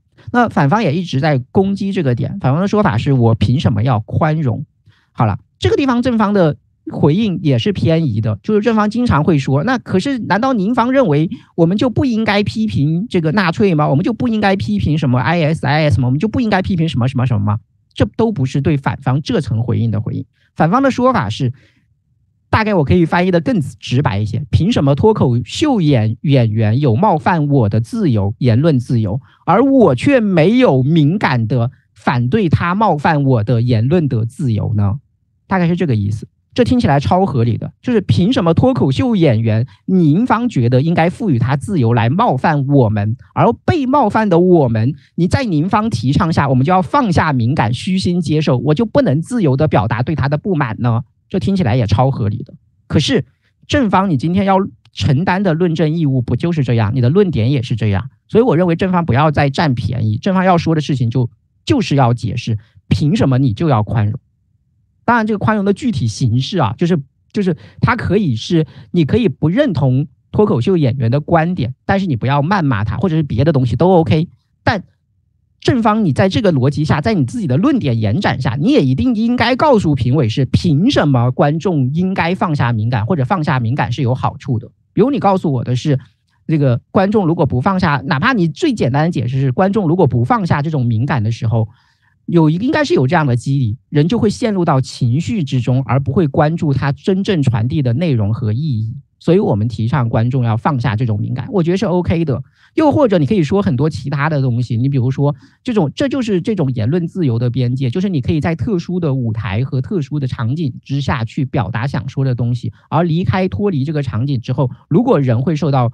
因此受到谩骂的话，那就人在很多时候就不会有很多这种表达。比如郭德纲常说的一件事情，就是凭什么在那个电影电视剧在那个舞台上大家都觉得是假的，一到我这你就觉得我是真的，就开始骂我。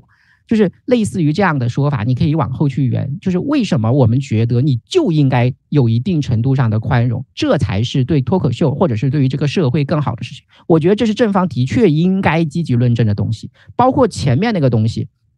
就是，呃，为什么这个冒犯有价值？我觉得论证是不够的。正方确实要论证的就是，我们要倾向于让越来越多的脱口秀的活动有冒。当然，这不是大陆我的判准，我只是我只是给建议啊。我觉得这个题的正方可能要论证的是，脱口秀呃应该是越来越冒犯，或者比如说反方说的那些。单纯的开心的那些脱口秀，正方可能要觉得那些脱口秀少点也没啥关系。可是冒犯的脱口秀少了在我们看来才是这个社会的损失，又或者是那些开心的脱口秀，我们也认为它应该逐渐转移到带来一些社会意义上，等等等等，我觉得都可以。但我觉得是正方，你总有一种论证义务，否则的话，在这场比赛看起来就会正方到后面就变成了我方觉得，之所以脱口秀是冒犯的艺术，是因为。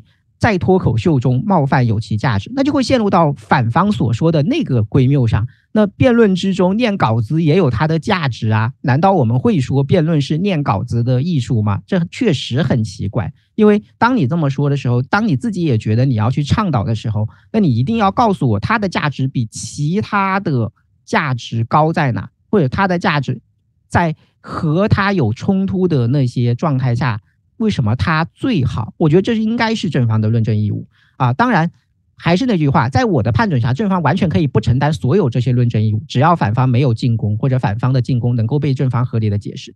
但在这场比赛里面，我是觉得反方的进攻在我听来都是合理的，反方的归谬也好，反方的这种关于排挤的说明也好，我觉得都合理。那唯一一个反方没有解释的很好的地方，就是那个提倡勇敢和提倡谨慎，正方三辩给出的一个类比。就是可不可以并行？当时反方二辩的回应是，他觉得可以并行，但是他有一个后面一句话，当然正方他没他没让他说完。反方二辩的说法是可以并行，但冲突时，然后正方就打断了。我不知道反方想说的具体是一个什么样的状态，但我觉得这个回答其实是不太够的，因为我觉得在反方的立场一致性的状态下，反方应该给予的回答是这两个当然是不太能并行，或者说并行的时候是会有伤害的。就像，就是有很多东西，就你把它放在一起，比如说火和冰块放在一起，可不可以？当然可以，它不会马上融化，但是会互相伤害。那你要告诉我的，可能你要更多的解释，就是为什么？比如我们说，呃，提倡一个人勇敢的时候，不会是凭空提倡啊，肯定是这个人他在某件事情上踌躇不前的时候，就是他在谨慎的时候，我们才会提倡他勇敢。反之，啊，我记得有个非常经典的孔子的一个。那个片段因材施教嘛，就有一个弟子来问他是不是想到一件事情就要去做。孔子说是。过两过了一会儿，又一个弟子来问是不是想到一件事情就去做。然后孔子说不，怎么能这个样子的？你不要考虑你的父母吗？什么什么什么的。然后另外一个人就问孔子，你怎么能不一样的回答呢？孔子说，对于前者来说，因为他是一个太谨慎的人，所以我希望他勇敢一些。后一个人他本来就是个莽撞的人，所以我希望他谨慎一些。所以这两者本来是有冲突和矛盾的。我方认为，我们不应该一概而论，认为人应该勇敢。我们只能提倡 A 这个人勇敢，但我们不应该认为人应该勇敢，或者说勇敢是真爷们儿。如果是这句话的话，那么就会伤害到那些本来就很莽撞的男性，他们就有可能因为这种倡导而更加有恃无恐的去勇敢。那。就会带来很多弊端。我觉得反方正常解释这个问题应该是这么解释的，但的确在提倡勇敢和提倡谨慎的这件事情上，我认为反方的解释是不够好的啊，不够好的。反方在结辩里大概的说法也是这两个东西不算矛盾。我其实我不有没有太看明白为什么这两个东西真的不算矛盾。好，这是基本上我看看，嗯，大概的内容。然后来看一下反方那个所谓的那个那个价值吧，也是和正方第三论点相冲突那个东西，就是为什么要。那个给观众话语权，就是正好和第三论点冲突嘛，就是为什么要让观众有批评这个嗯脱口秀演员冒犯他的权利？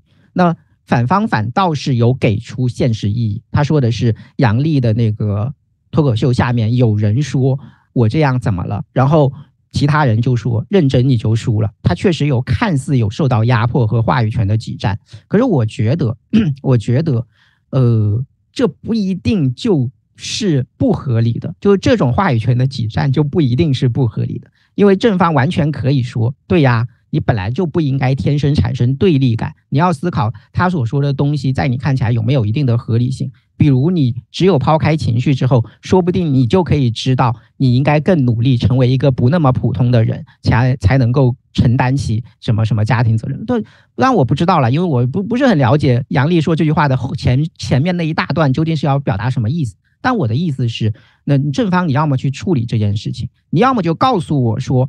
为什么在这个状态下受到更多压迫的不是这种男性的回帖的男性，受到更多压迫的反而是杨笠在内的这些脱口秀演员？他们已经举步维艰了。我们应该为冒犯证明，也可以但这场比赛里我都没有看到正方对这个问题、这个价值的太多的对抗，所以这场比赛在我看起来，我会判给反方。好，以上是我的评判，谢谢。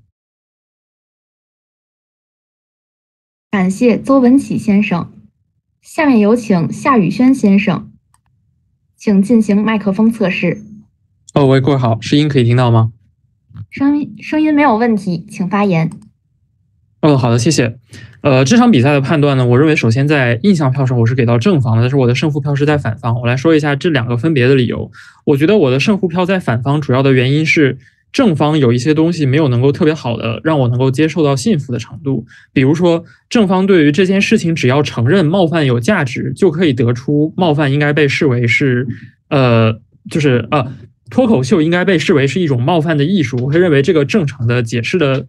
效力确实会比较低，然后在即便是在这个正常标准我可以接受的状况之下，正方对于脱口秀本身当中的冒犯存在价值的解释本身前半部分指的是它能够获得观众的喜爱，是由于这个视差等等等等一些的机理，比如在古典时期的喜剧可能有什么什么样的机理，这部分我是有接收到的。但是我觉得在反方的挑战之下，比如说念稿这件事情有可能会让我们辩论的表达效果变好啊，那同样的也会有这个效果，也可能会获得很多评审的喜爱，因为有可能你念稿的时候可以。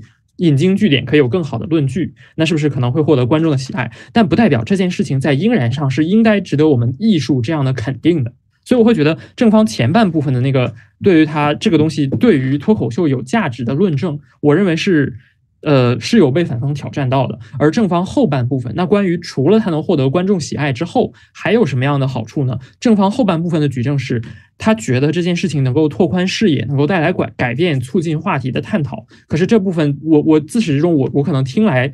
就只有一个例子，就是关于这个宗教反思的例子。可是关于这个宗教反思，第一，他到底是说了什么样的话，从而改变了一个怎样的群体？这个背后的改变和反方所举出的那个例子，就是听到杨笠的脱口秀之后，更不愿意去反思，更不愿意去探讨。这两个例子之间是正方如何做比较的？因为我觉得，如果正方想正成这个地方，在这个地方一定要做更细致的描绘，并且和反方那个杨笠导致了很多人本身。越发的不愿意去反思这个问题，不愿意去探讨这个问题，要和这种现象做一个比较，正方才能得出这后半部分的价值。所以在前半部分受到反方挑战，后半部分没有没有很好的证明的情况之下，我会觉得，即便是我能认可正方有对脱口秀有价值，就意味着脱口秀是冒犯的艺术。即便认同这个标准，我也会觉得正方正常的效力并不强，而反方是在认同他有冒犯，而认同他对脱口秀有艺术的前提之下。告诉我们没必要把它上升到艺术的高度，所以这个地方就会进入到两种看法，我们应该怎样去看待的一个应然性的比较。正方的那个应然看待，要去争抢自己现实的背景，就要告诉我们说，我们要对冒犯这件事情进行去污名化。我们的社会当中抨击使得冒犯没有了生存的土壤，所以我们要进行去污名化来解决这个，来纠偏这个问题。反方想讲的事情就是我们要对冒犯进行去光环化，没有人理所应当的站在一个舞台上就拥有了冒犯别人的权利。而这件事情呢，对于反方的价值，正方有做一个处理，但正方的处理，在我个人看来是，呃，有至少有两种处理吧，我是个人认为都不是特别的充分。有第一种处理方式是。你说的那个观众就应该听这件事情没有造成不平等，但我会觉得在反方杨丽的例子里面，他有切实的讲到，确实有限制了表达的不平等，所以会认为正方的这个说说法本身并没有通过现实的检证。第二件事情是，呃，正方回应说，如果你看到脱口秀上有这种呃有这种冒犯的形式，你可以去发言，你可以去回击，你可以去反冒犯。可是我会觉得这件事情实现的是观点和观点之间的平等，立场和立场之间的平等，它实现的不是演员和观众之间的平等。它事实上有点反演员和观众之间的平等。你作为一个观众，如果你不发声、不成为演员的话，你就是应该听着。我会觉得这件事情有部分默认反方的那个说辞是有道理的，所以会觉得这两个都不能完全全盘处理掉对方的那个价值。而正方说的这件事情需要去污名化的论证，我会觉得是缺失的。所以我会觉得在两方各自呈现这样的态势之下，我这场比赛的胜负会在反方。那我为什么会分一票给正方呢？其实是由于这几件事情。第一件事情，我会认为这场比赛的反方有一点。要么是占立场便宜，要么就是我会觉得它论证框架趋于简单。因为我一直以来都是听到两重意思。第一重意思就是，如果你认为 A 是 B 的艺术，你就是在认为 A 只是 B 的艺术。可是我个人并不是很接受这条推论，就是如果你认为脱口秀是冒犯的艺术，那你就是在认为脱口秀不是其他的艺术。我认为这个逻辑是不是我一乍一听上去我就能够接受可以这样论成立场的，所以我会觉得这个地方有一些霸道的切分。再有一件事情就是关于反方对于正方的某些回应，当正方提出说勇敢和谨慎这两条看上去有所矛盾的东西，我可以同时做倡导的时候，反方的回应是。我们如果倡导你都相信脱口秀是冒犯的艺术，可是为什么我们的倡导一定是都相信呢？为什么我们认为 A 是 B 的艺术，就是要告诉大家所有人都要认为 A 是 B 的艺术呢？我会觉得这个也是一个缺乏论证的一个推断，所以我会觉得在这两件事情的基础之上，反方如果能建构自己的论证的话，虽然正方对他的挑战在我看来是不够有力的，可是我也会觉得反方的这个论证似乎有点缺乏前提，就是他的前提有点缺乏论述。然后我具体在这场比赛里面是怎样做判断的？比如说刚才那个呃邹文启学长他告诉我们说，就是我我也承认，就是我觉得反方对正方的那个。归谬是成功的，反方利用这个男性的这个例子，就是如果我们认为脱口照正方的逻辑，只要它有价值，就意味着 A 是 B 的艺术，那是不是男性？我们也可以讲脱口秀当中男性发挥了很大的价值，所以脱口秀是男性的艺术。可是我会认为正方有两件事情也也有成功的反归谬。就第一件事情是勇敢和谨慎，你看上去两个相斥的事情，我们有的时候是可以同时倡导的。第二件事情是关于反方所举的那个，呃，如果我认为辩论是一个升华的艺术，我们会不会排斥那些？有持其他看法的，对辩论有持其他看法的那些东西，我会认为正方通过这个例子单独的回应，我会认为都是两方各自都是立场性发言，没有谁高谁低。但是我会觉得有另一个处理方式，正方有提出一件事情，就是我们现在有像胡建彪这样的一个，呃，认为辩论是交锋，或者说不不是这么认为，就是他类似于认为辩论是一个交锋和梳理的艺术，也有像黄志忠这类似于认为辩论是一个瘦身和升华的艺术。这两种倡导在我们现实的生活当中并没有互相抵触。并没有说我这个学校是胡建彪教出来的，我就要否定和排斥，就这个现实的现象，我认为确实是成立的，所以我会觉得两方各自都会有对对方有有效的攻击。在这样的状况之下，我倾向于认为反方的那个归谬之所以能够成立，不是因为 A 是 B 的这个句式是排他的，而是因为反方所举出的那个 B 是排他的。所以，我们在这里面是因为男性这个话题拿到了性别议题里面，男性这个概念是排他的，所以他排他，而不是呃他，所以他构成的对女性的侵犯冒犯感来自于这个，来自于男性这个词天生和女性的那个区隔，而不来自于 A 是 B 这件事情有排他。所以，所以如果我们在脱口秀是男性的艺术这件事情上有排他，而在辩论是交锋的艺术和辩论是升华的艺术这两者之间没有排他。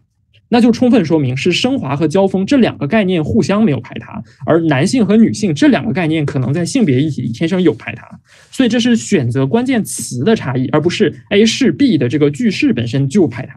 所以我会在这样的条件之下呢，我会认为两方各自对对方都有一定有效力的处理，那我就会听什么呢？我就会听那我们今天所选取的冒犯这个概念排不排他呢？冒犯这件事情是否排他？我会认为反方有非常好的突破口，但没有能够利用好，这也是我会分一票给正方的一个理由。就是反方有个非常好的突破口，但你们讲的方式太过于极端了。反方举的冒犯这件事情本身排他的论述方式是举了冒犯和不冒犯，这天生举了一个反义词来告诉我冒犯这件事情是排他的。你如果相信呃脱口秀是冒犯的艺术，那你就不能相信脱口秀是不冒犯的艺术。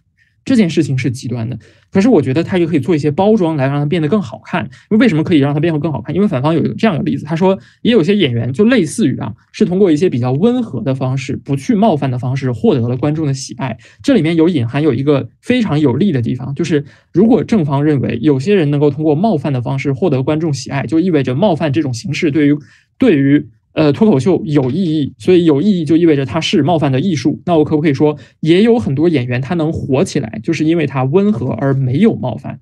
那既然有些演员是通过温和而没有冒犯的方式获得了观众的喜爱，是不是我也可能通过你一样的逻辑得出脱口秀是不冒犯的艺术？因为你所有的所有的那些价值我都有，你说的那个。冒冒犯的方式有可能让观众喜爱，可以构建视差。我的不冒犯的方式有可能让观众觉得温和，可能获得观众的同情。你的冒犯的方式能够打开观众的思路，让观众反思。我的不冒犯的方式能让观众更好接受，降低门槛。那我们你的作用我全都有。我们你你同时你的逻辑同时能证明它是冒犯的艺术和同同时它也是不冒犯的艺术，所以你只能二选一。到这个时候，我觉得反方的那个二选一的意思可以讲的更明确一些。反方其实有个非常明确的二选一的意思。如果你你的这个冒犯是不排他的，你既你既觉得冒犯是艺术，又不觉得不冒犯啊，它也是不冒犯的艺术。如果它是不排他的，你就没有意义。我强调你就没有起到倡导的作用。如果他是排他的，那你就在挤占其他的价值。可是我觉得今天对于反方来说，一个是举例极端，所以我导致我没有听到除去不冒犯之外。脱口秀的冒认为脱口秀是冒犯的艺术，到底挤占了什么价值？由于反方一直在讲的是他挤占了不冒犯，所以我觉得这个由于这个选的例子过于反义了，所以它天然不太利于自己正常立场的代表性。所以再有一件事情就是，如果我前面这两种区分，这个二选一的区分能够抓住正方的例子来去得出的话，因为在正方那个例子里面，你可以把它解读成它同时证明了是冒犯和是不冒犯两种艺术。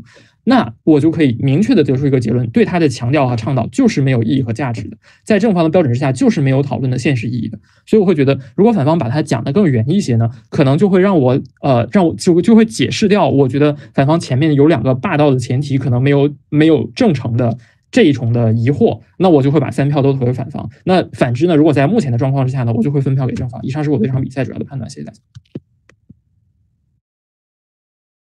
感谢夏宇轩先生，下面有请杨晨雪女士，请进行麦克风测试。Hello，我确认一下，可以听见吗？声音没有问题，请发言。呃，我觉得这整场比赛来讲，嗯，双方的交锋其实出现了一点点偏移，就是我相信正方自己也能感受到。整个比赛后期的交锋，你们核心讨论的几个问题，对于你们的胜负都没有太大的关系。你们所有的讨论都是依据呃反方提出的几点质疑和他们自己的呃论点展开的，这对于正方来讲伤害性比较大。因为包括早上评的那场比赛可以看出，当你们需要论述脱口秀是冒犯的艺术的时候，你们一定要论证出冒犯。这件事情，无论它是一个幽默的技巧也好，一个表达的技巧也好，或者是一个话题的选择标准也好，它都有它更优于其他的价值，或者说更多出来一块的价值，你们的立场才能正成。但是你们后期的交锋完全没有围绕这个点打开打开，所以我觉得对于正方整体的正成伤害会更高。那么在你们整体的交锋中呢，围绕的大概是这么四个点。第一个呢，就是它必然嘛，就是我们需要论证到，呃，冒犯这件事情在脱口秀里面必然存在嘛。那在这一部分，我接收到其实是从反方在说，呃，比如说辩论是说服的艺术，那没有说服这件事情的时候，它可能就不是一场好的辩论。呃，辩论是交锋的艺术等等，是一个意思，就是呃。我觉得论述到这里的时候，是需要你们不再去用相互的类比来对冲，而是正呃正方有义务解释清楚。那我当我们用冒犯的方式得更多的得益点是什么？那是这这是这个地方。第二件事情呢，是他会排他吗？我觉得排他整体的攻防，呃，我的理解和前两位评委是差不多的。对于排他这件事情，其实，呃，在呃正方去论述到我们现今的辩论，有人会觉得是呃渲染或者是价值建构的艺术，有人会觉得是交锋的梳理的艺术，那各有各的观点。其实他们相互之间并不排斥，只是某一个学校的选择上，是你的选择体系有一定的排斥，我觉得可以接受。可是，在这件事情之后呢？我我我觉得你们简简单的反驳掉了这排他这个逻辑层面的问题是没有构成，就是同样对于正方来讲，对你们自己的建构来讲意义是不大的。那么第三个问题是极端，这个在你们呃从正三开始一直到整个自由辩的环节，你们的交锋非常多。我听到后期我还在想这个问题是怎么开出来的，我想了一下，大概是在一开始反方问呃。就是反方问，那对于冒犯如果造成伤害性，你一旦允许大家越界来实行一定的冒犯的话语或者是行为的时候，你要怎么划清这个线呢？这个时候正方的反馈马上就跳到了，那我们在倡导爱国主义的时候，也也也不是要砸车或者怎么怎么样。我觉得其实这个问题本身的讨论是由于正方一开始的过度反应引起的，那反方也顺着这个就往下聊了，所以。双方在这一块的交锋，对于这场比赛实战上的意义，呃，确实不大。而如果正方能仔细听清楚反方的攻击，简单的划线来讲，其实，想现在广电的审批，或者说我们对于一些伤害性的言语的禁止，或者说，嗯。行为的禁止也也有比较明确的线，这不是一件从划线来讲特别难的事情。并不一定要推到极端再来反驳。我觉得这样你们的反驳，呃，更有就是更符合我我们的现状和现实。那么最后一个问题就是关于限制话语权这件事情。那么在这个问题上，呃。我感觉，呃，我和前两位评委的听感是一样的，最后更多的是落在了反方，他们解释，呃，他们解释没有必要上升到艺术，我也是不是不让你说，可是我在听这个部分的时候，一直有一个很大困惑，就是到艺术又怎么样呢？我们就不可以在网上批判了吗？一个艺术的作品的呈现，无论是艺术是。就是观众受众的批词、言语的是一样的，呃，这样一个讨论和我们来进行。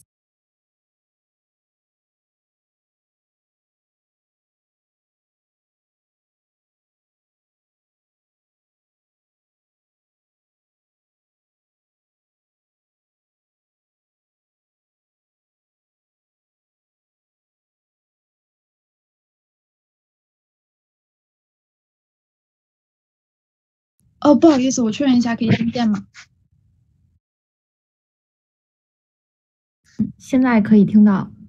请学姐继续发言。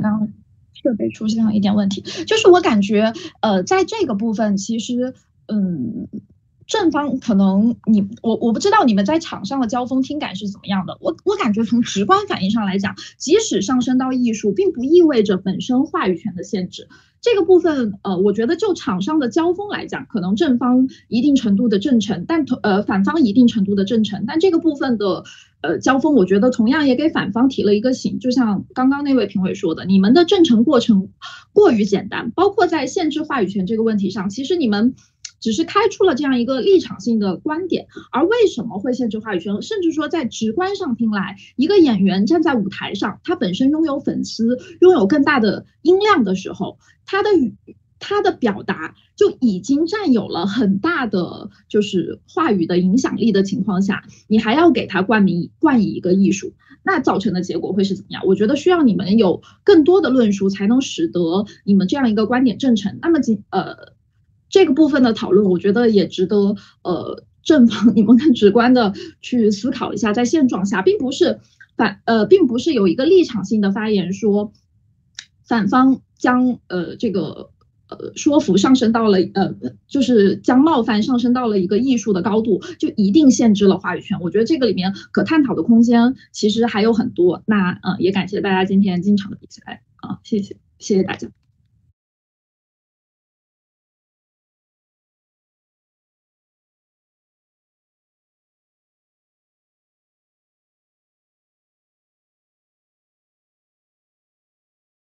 感谢杨晨雪女士。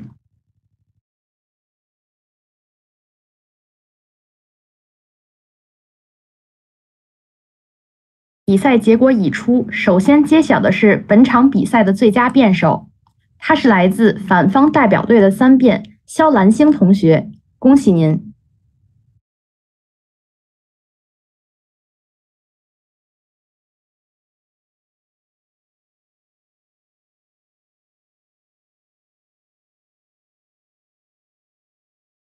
下面我将为大家宣布国际华语辩论邀请赛资格赛初赛 G 组第二场的比赛环节分数票。邹文启先生投给了反方。不好意思，打断一下，请主席进行商讨票的宣读环节，请各位评审填写商讨票，并在请各位稍作等待。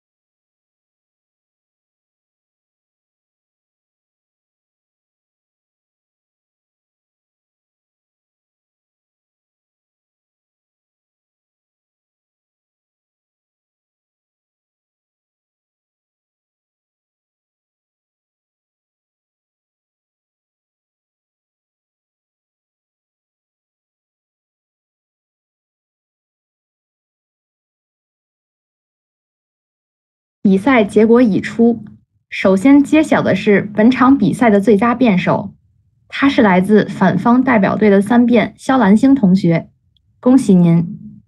下面我将为大家宣布国际华语辩论邀请赛资格赛初赛 G 组第二场的最终结果。第二轮环节分数票，邹文启先生投给了反方，夏宇轩先生投给了反方。杨晨雪女士投给了反方，第二轮投票的结果是零比三。第三轮商讨票，邹文启先生投给了反方，夏宇轩先生投给了反方，杨晨雪女士投给了反方。第三轮投票的结果是零比三。加入第一轮印象票的最终结果是。正方一票比反方八票，让我们恭喜反方代表队赢得本场比赛，同时感谢本场比赛的八位辩手，感谢他们为我们呈现了一场精彩的比赛。下一场比赛即 H 初赛 H 组第二场的比赛将在稍后进行，欢迎大家继续关注。